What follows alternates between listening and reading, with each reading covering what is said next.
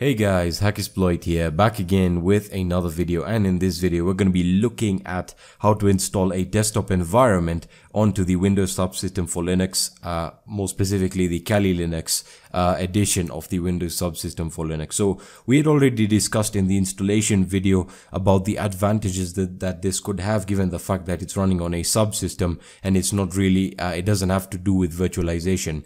So one of the advantages we had talked about uh, when setting up the Windows subsystem for Linux is the fact that it will run on the host operating system with the same system resources, which means that you would have the same and you can use a maximum amount of resources that your computer does have. And uh, when I when I put this in comparison to Pentest Box, you, this is where you can really see the advantages and disadvantages uh, for for each and both of them.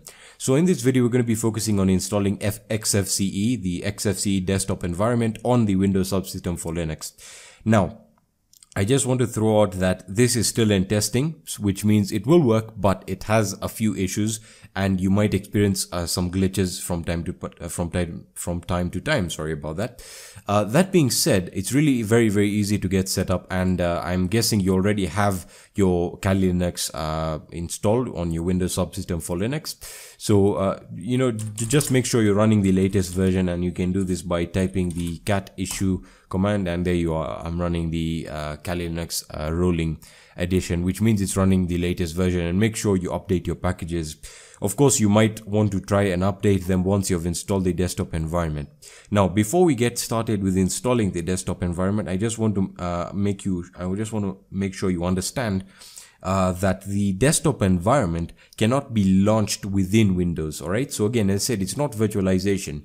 However, uh, Kali actually found out that, you know, one of the easiest ways to connect to it was either through SSH, but that would be through another computer. But again, what would one do if one, if the computer does have a desktop, uh, have a desktop environment is you would connect through it through a remote desktop connection which is what they've been able to do using the uh, XRDP, which is an open source uh, remote desktop connection that is commonly found on, on Linux, more specifically Kali Linux. So it's pre-included and that means you can connect to Kali Linux, you know, using the remote desktop connection, given the fact that you've started the XRDP server on the Kali Linux uh, operating system. That being said, we're going to be replicating the same thing here. So what we're going to start off with is we need to get the XFCE desktop environment script.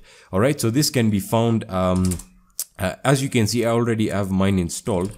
Uh, this can be got using the wget command. So wget and we use the following URL. I'll be putting the uh, the URL in the description. So https and uh, we are using the kali dot shell or dot script and we use the x uh, xfce4 so it's using xfce4 uh, dot uh, the executable file and just hit wget and it'll download the file. Now i already have mine downloaded so i can list the file here and there you are. So i might want to change permissions so chmod plus x and uh, we're going to use the xfce uh, like so just to make sure that I can uh, execute it. There we are. So now we can execute it. So I'm going to run the sudo and the xfce.bash uh, file and it's going to ask me for my root password so make sure you enter your password and it's going to start installing xfce4 now this is going to take a while of course dependent on your internet connection and uh, again it's going to take a while because it's installing a desktop environment. So i'm going to let this complete and i'm going to get back to you when it's done. So i'll see you then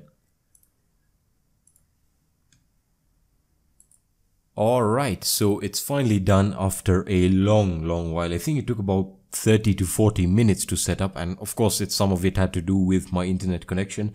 But that being said, it's going to take a while and uh, what you'll get here now is you can see it's going to tell you that it's configuring XRDP to listen on port 3390.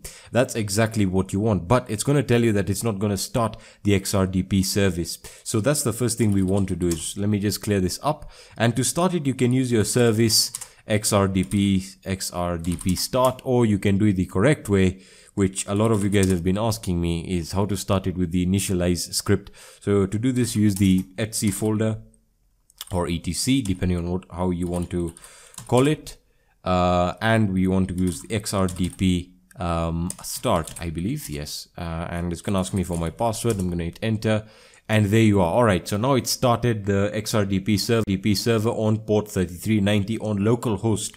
Okay. and now we need to use the remote desktop connection so remote desktop connection I'm going to open that up and uh, uh, right now I'm just going to use the localhost 127.0.0.1 and we use the port 3390 remember how to specify ports and I'm going to hit connect all right and give it a few seconds to connect and yes we want to allow connections and there we are. So now you need to prompt eh, your you need to enter your your Kali Linux username and password which we set.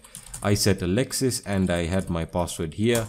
I'm gonna hit OK and it should log me in into Kali Linux now with the XFCE desktop environment. So give it a few seconds and there you are so uh, it's going to ask you to set up your panel. If you're familiar with the XFCE, you know that you can create your own panels, but I'm just going to use the default configuration panel, panel and it's going to open up the default panel here and uh, voila, welcome to Kali Linux on Windows using the Windows subsystem for Linux uh, running XFCE.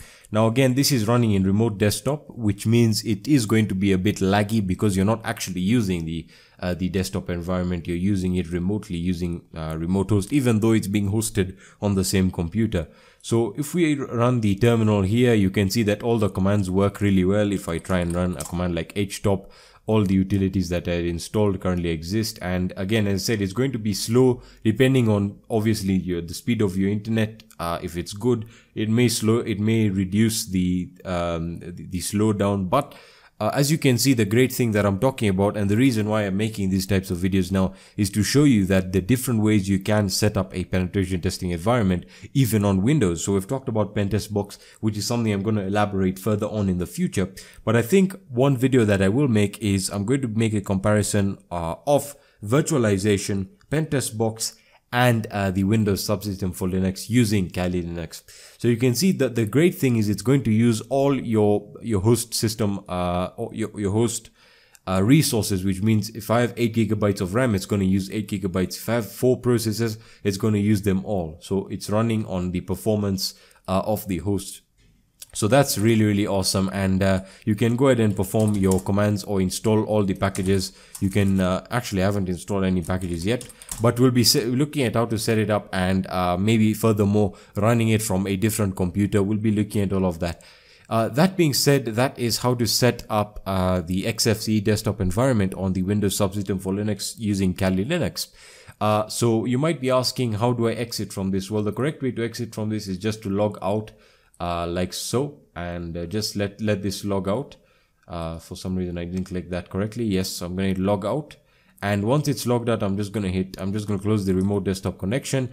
And now instead of running start I'm going to stop the service like so. And there you are X, XRDP has been stopped. And we are still logged in into our uh, into our um, our Kali Linux operating system here uh, the on the Windows subsystem for Linux. That being said, that's going to be it for this video. If you found value in this video or you enjoyed this video, please leave a like down below. If you have any questions or suggestions, let me know in the comment section or my social networks or on my website and I'll be sure to answer them there. Thank you so much for watching guys and as always, I'll be seeing you in the next video. Peace.